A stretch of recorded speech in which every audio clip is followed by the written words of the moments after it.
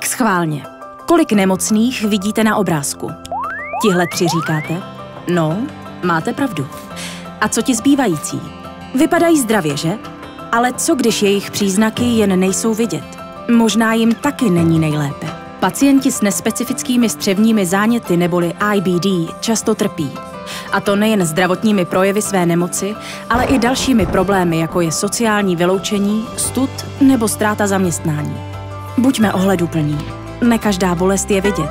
Pomáháme pacientům s IBD. Více informací najdete na našich stránkách.